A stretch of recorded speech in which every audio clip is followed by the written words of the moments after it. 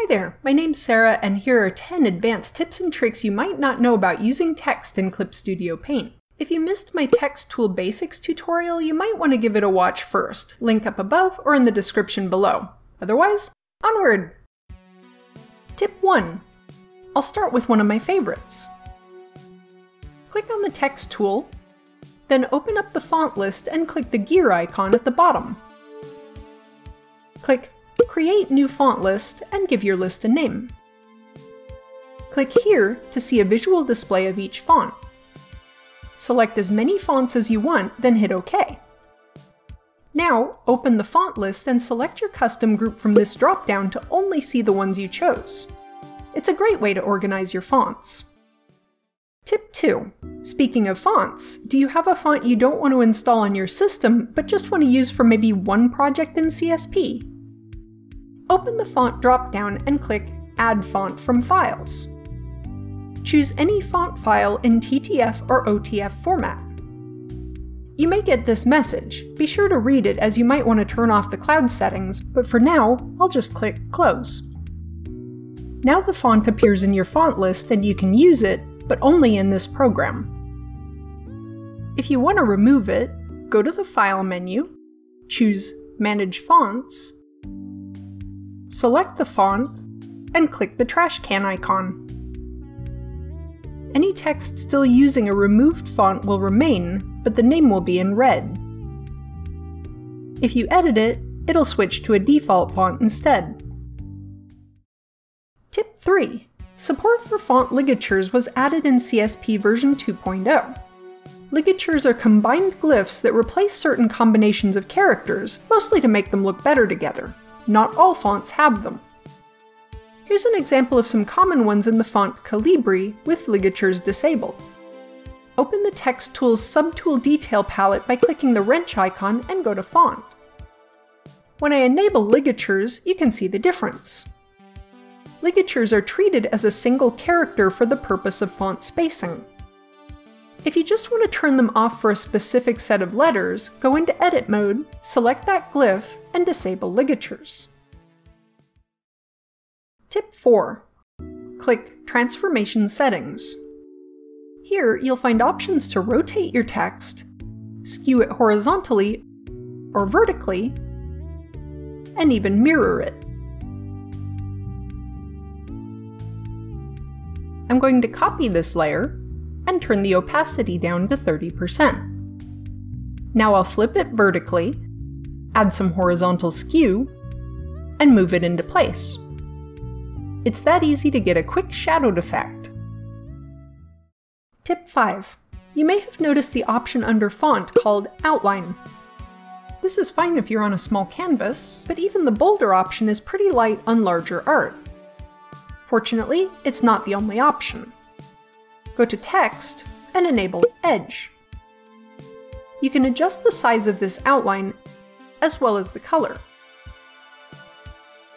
That works on individual text objects, but you can also go to the layer properties and click Border Effect to outline the whole layer. Again, you can adjust the thickness and color. Tip 6. You can add colors, gradients, and patterns to your text using a clip layer. Create a new layer above your text. Clip it to your text layer by clicking here. Anything on a clip layer only shows where the layer directly below it is visible. For example, I'll go to the Gradient tool and pick Sunset, one of the defaults that comes with CSP. I'll apply the gradient, and it only shows where my text is. You can put anything on this layer, and it'll show up on your text. And the best part is, your text is still editable.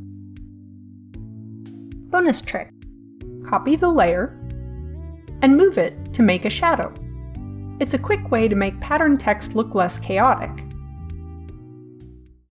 Tip 7. Likewise, you can make parts of your text transparent with a layer mask select your text layer and click here to add a layer mask.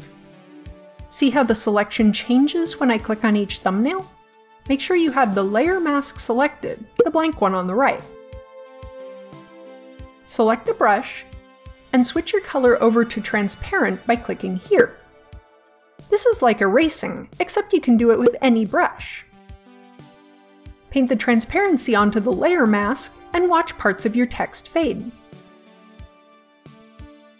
And yes, still editable. Tip 8. Do you find you're reusing the same settings over and over? Click here to create your own custom text subtool. Give your new subtool a name, and press OK. Customize the settings however you want, then click the wrench to open the Subtool Detail palette. Click Save All Settings as Default, and then click OK. Just a note, it won't work if you click on existing text and try to apply your subtool's settings, but it will work for any new text object you create with this subtool selected. Tip 9. I talked about skewing text, but if you really want to warp it, you'll need to rasterize it. Right-click the text layer and select Rasterize. Rasterizing changes the layer to pixel data, like a drawing. You will no longer be able to edit it as text. Here are three fun ways to warp your text. Method 1. Go to Edit, Transform, Mesh Transformation. Move these handles around however you like, and press OK. Method 2. Under the Filter menu, try out some distort options.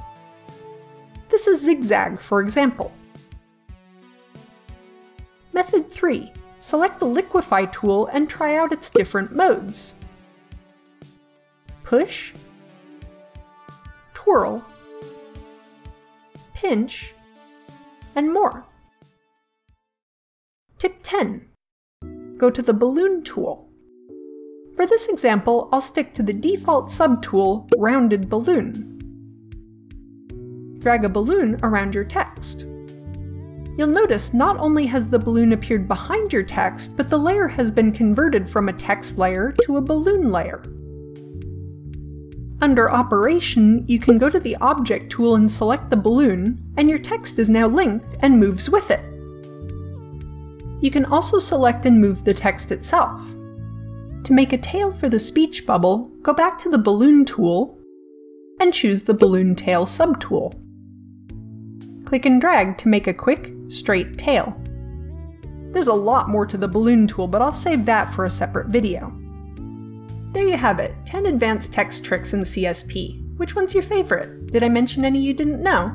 There's still more to come in a supplemental tutorial I'm doing to cover some features more commonly used in non-English languages, like readings, Tatechuyoko, and vertical text. Be sure to subscribe and follow me at Ms. Red Nebula on Twitter or Instagram for more. I'll see you soon! A big thank you to all of my patrons, with a special shout out to Nova Tier patron Joe C. Phipps. Check out my Patreon if you'd like to help support future content like this.